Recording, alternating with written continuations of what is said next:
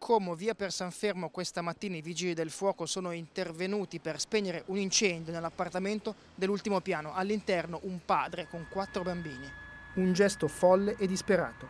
L'uomo, un 49enne marocchino, ha dato fuoco alla casa e poi si è tolto la vita. Morti nell'incendio anche due bambine e un bambino. La quarta figlia è in gravi condizioni al Buzzi di Milano. I vigili del fuoco e i soccorritori, fortemente provati dalla drammaticità della scena alla quale hanno assistito, hanno sfondato le finestre per entrare nell'appartamento dell'ultimo piano e hanno trovato le cinque persone, padre e quattro figli, chiusi in una stanza, sopra un letto. Panni e coperte accatastate, come per innescare l'incendio. Per il padre non c'era più nulla da fare.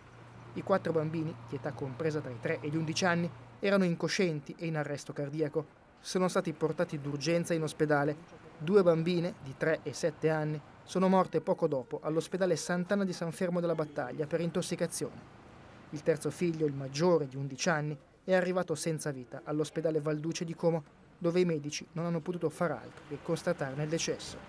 Il bilancio della tragedia è quindi di quattro morti, il padre e tre figli.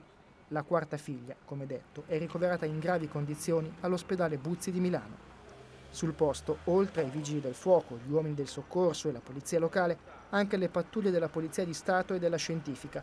L'ipotesi più accreditata è che l'uomo abbia appiccato il fuoco e poi si sia suicidato, un delitto maturato in una forte condizione di disagio sociale. La famiglia era seguita dai servizi sociali del comune di Como, l'uomo era disoccupato, la madre dei quattro bambini era in cura in una struttura sanitaria e i bambini pare non andassero a scuola da tempo.